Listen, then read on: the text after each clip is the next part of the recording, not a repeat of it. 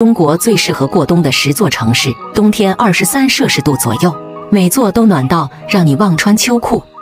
一、海南三亚。说到最适合过冬的城市，三亚必定榜上有名。蓝天、沙滩、大海、椰林，温暖的阳光，海风吹来，一切都是夏天的味道。二、福建厦门。这里白天均温二十摄氏度以上，文艺是厦门这座城市的名片，非常适合发呆散步。安静又自在。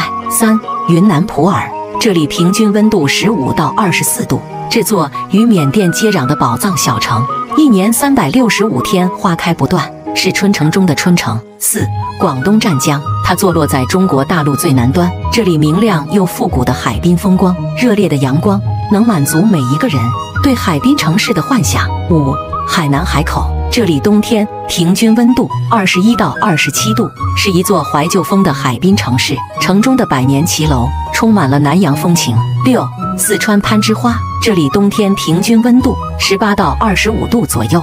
这座以花为名的城市，一年四季鲜花不败。七、云南西双版纳，在西双版纳过冬，不出国门就能体验东南亚的异域风情。八、广东珠海，珠海是广东最浪漫。最宜居的海滨城市，是一个浪漫的白岛之市，平均温度只有二十一度。九，云南昆明，在中国除昆明外，再没一座城可以被叫做春城，一年四季鲜花不断，是度冬旅居的好去处。十，福建泉州，泉州，白岩松说，这是你一生一定要去一次的城市，这里半城烟火半城仙，冬天时更是满城绿树红花。其实单是古早味的美食，就让人蠢蠢欲动。